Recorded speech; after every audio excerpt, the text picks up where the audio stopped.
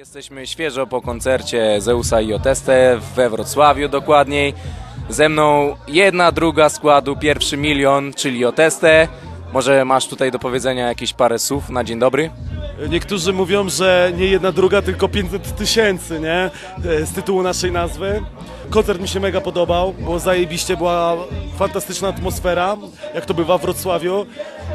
Super, super, nic dodać, nic ująć, kurczę. Jest to miasto, do którego zawsze chcemy wracać i grać zajebiste koncerty. W sumie trzeba przyznać, że nie minęło dużo czasu od waszego ostatniego koncertu we Wrocławiu. Było to w styczniu, widzieliśmy się wtedy po raz ostatni. Jak dużo się zmieniło od tego czasu?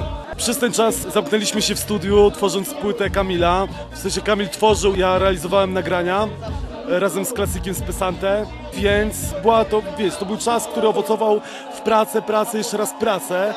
Na szczęście w dniu dzisiejszym mogę powiedzieć, że te prace są zamknięte i owoce tej jakby współpracy będą niedługo oddane publiczności. Jestem ciekawy przyjęcia tych nagrań i jak ludzie, wiesz, odbiorą to wszystko. No i co najważniejsze, stworzyliśmy wytwórnię, nie? I to też jest dla nas wielkim znakiem zapytania, jak to wszystko będzie. Czy ta płyta, wiesz, osiągnie zamierzony cel, tak? Czyli czy ona, wiesz, przemówi do ludzi, czy ludzie będą chcieli ją kupować, czy im się przede wszystkim spodoba i czy będą przychodzić na nasze koncerty, nie? W dalszym ciągu. Myślę, że po dzisiejszym koncercie nie możemy mieć ku temu wątpliwości. Był naprawdę ogień, było żywo, pot się skraplał z sufitu, także było naprawdę gorąco. Yy, Nie było czasu na lenistwo. Ciebie można było usłyszeć choćby na innym projekcie BCZ, udziela się tam na bitach też zwrotki, także powiedz może coś na temat tego projektu. E, Wiesz co, to nie była jakaś, wiesz, e, wielka e, zaplanowana współpraca. Znam e, Mateusza, e, BCZ-a. Przyszedł do mnie do domu, słyszał jak robię jakieś tam rzeczy, które chowam sobie najczęściej do szuflady, jeżeli chodzi o bity. I mówi, kurczę, wiesz, stary, bardzo mi się podobają, masz zajebiste funkowe brzmienie i chcę tych bitów użyć do siebie na płytę. Więc, e, więc dałem mu te bity, które sobie wybrał, co było dla mnie bardzo, wiesz, przyjemne, że ktoś chce do moich bitów nagrać, bo ja jestem bardzo krytyczny co do tych spraw. Myślę, że wyszło fajnie, choć trochę brzmienie, jeżeli chodzi o master, to bywa różnie. E, Jeżeli chodzi o zwrotkę do Mateusza, nagraliśmy jakiś tam polityczny numer, który myślę, że wyszedł fajnie, który odzwierciedla nasze poglądy, więc odstawiam to ocenie słuchaczy, jak to odbierają. Skoro współpracuje Wam się dobrze z BCZ-em, to może czy jest szansa na to, żeby wszedł do szeregów pierwszego miliona, jeśli chodzi o nagrania? Jeżeli chodzi o przyjmowanie nowych osób do pierwszego miliona, to wszystko się rozwiąże w przeciągu roku, dlatego może będzie jakaś niespodzianka, tego nie ukrywam, może ktoś się pojawi w szeregach pierwszego miliona. Jeżeli chodzi o rozszerzenie znaczne naszej jakby opcji pierwszomilionowej, musimy zobaczyć jak pójdzie płyta Kamila. Czy ona się sprzeda, czy ona przyniesie nam jakiś e, budżet, którym będziemy mogli operować, żeby wydawać nowe postacie. Tyle. Czyli na ocenę tego trzeba trochę poczekać. Jak się można domyślać, pewnie Ty, tak jak Kamil, przymierzasz się do tego, żeby drogą Waszej wytwórni wydać też Twój krążek solowy. Tak. Yy, Nie ukrywam, że już pracuję nad swoją płytą. Prace są dosyć zaawansowane, bo jeżeli chodzi o moją płytę, sfera muzyczna myślałem, że jest zamknięta, ale doszło parę nowych bitów i e, prace cały czas trwają. Na pewno nie ma żadnych nagranych jakichś nowych wokali, oprócz jednego numeru. Najpierw chcę zakończyć właśnie tą sferę muzyczną i później, kurczę, nagrać wszystkie wokale.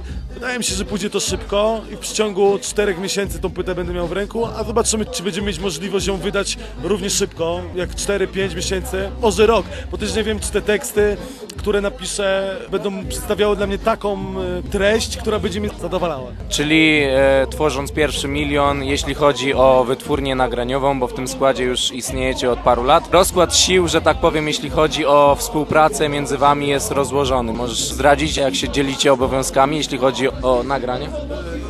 Wiesz co, nasza praca przebiega tak, że jeżeli Kamil pracuje nad jakimś kawałkiem, ja jestem w studiu i e, nagrywam te kawałki, rozmawiamy o nich, chcemy, żeby wyszły jak najlepsze, bo e, o to chodzi w pierwszym milionie, żeby te numery zawsze przedstawiały jakąś e, jakość, merytorykę ciekawą.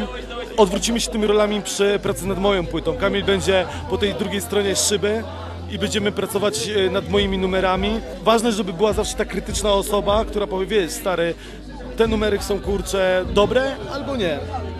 Żeby właśnie te numery, które wychodzą od nas, zawsze miały pewną jakość.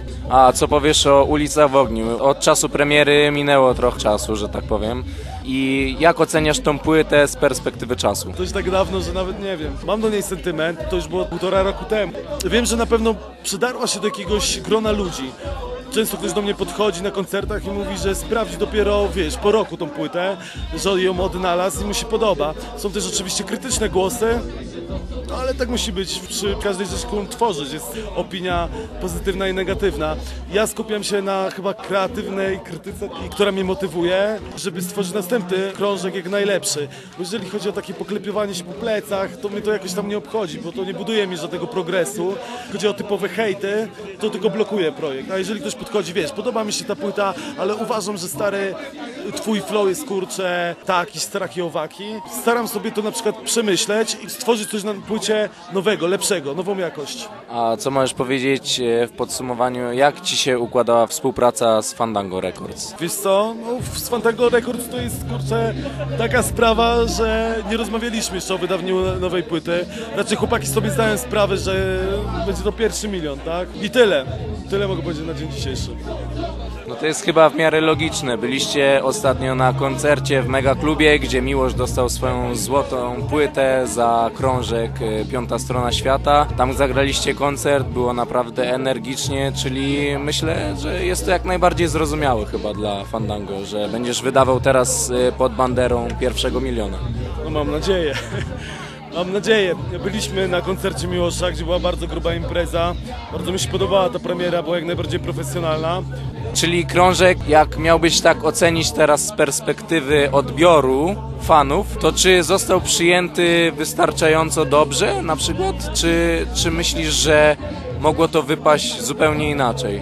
Myślę, że mogło być lepiej, wiesz, ja miałem jeden klip plus jeden singiel yy, w formie prologu, który nie wszedł na płytę, ale jest jakby zapowiedzią tej płyty. Uważam, że zaistniałem gdzieś w świadomości słuchaczy, ale nie tak mocno jak chciałem. Ten projekt przeszedł gdzieś bokiem, ale też zdobyłem jakąś małą, ale wierną rzeszę, wiesz, fanów, słuchaczy. Czy nie uważasz, że to jest spowodowane tym, że w sumie e, tak jak przed chwilą powiedziałeś zresztą, że nie skupiałeś się tak mocno jakby na promowaniu tego materiału, a mimo wszystko dotarł on do słuchaczy, czyli był to naprawdę dobry materiał Ulice w ogniu. Zdania są podzielone na ten temat. Uważam, że tak, wiesz, jeżeli chodzi o ulicę w ogniu, oddałem całego siebie, całe serce w teksty, w e, selekcję bitów. I jeżeli komuś się ten materiał podoba, jestem z tego mega zadowolony.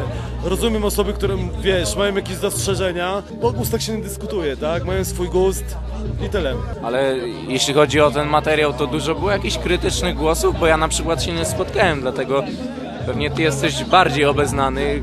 Tak, spotkałem się jak najbardziej. Krytyka, jeżeli chodzi o ulicę w ogniu, była bardzo podzielona, nie? Niektórzy krytycy uważali to za gniota, nie? Niektórzy uważali, że to jest zaskoczenie, że wiesz, Hypen, Hypen y, w Polsce może zrobić dosyć dobrą płytę, więc to było bardzo podzielone. Jeżeli chodzi o słuchaczy, którzy nas znają, niektórzy uważali, że to powinien być ostrzejszy materiał, bardziej mocny, uliczny jak życie, które mnie wybrało. Choć ja do dzisiaj uważam, że to nie jest uliczny materiał, ale tak, taką dostał etykietę. A niektórzy mówią, że kura dobre zaskoczenie i duży progres, więc te zdania były bardzo podzielone i rozbieżne. Bardzo podzielony, jeśli chodzi o ekspertów w scenie hip-hopowej, czy jeśli chodzi o odbiorców. I tam, i tam. Te osoby, które znały moją twórczość w pierwszym milionie, czy przy mojej solowej płycie życie, które mnie wybrało, też były podzielone. Niektórym ta płyta w ogóle nie pasowała, bo była zalajtowa. Niektórym podobał się mega duży progres na tej płycie, jeżeli chodzi moim zdaniem o flow. Jeżeli chodzi o profesjonalną stronę recenzentów, choć ja nie nazwałbym ich czasem profesjonalną stroną recenzentów, bo ja też mogę sobie otworzyć bloga i pisać, co mi się tam podoba. To było bardzo różnie, nie? Ja nie ukrywam, że czytałem te rzeczy, no każdy się interesuje swoją twórczością. Jak mówię, niektórzy uważają tą płytę, wiesz, za niegodną w ogóle ich uszu, a niektórzy uważają, że to jest duże zaskoczenie i bardzo im się podobała? Czy, czy nie wiem, czy bardzo, ale podobała się, z tego co wiem. Osobiście czytałem taką recenzję na pewnej stronie internetowej, nie będę zdradzał dokładnie której, że twój materiał znalazł się wśród albumów, które zostały niedocenione. I to na bardzo obiektywnym profilu. To bardzo mi miło. Bardzo mi miło, że ktoś, wiesz, przez zauważenie, jak została niedoceniona, docenił tą płytę. Bardzo fajnie. Ale ja nie skupiam się, wiesz, na cza- czasie przeszłym. Ta płyta już była. Ja patrzę w przód i dla mnie jest najważniejszy proces tworzenia nowej płyty.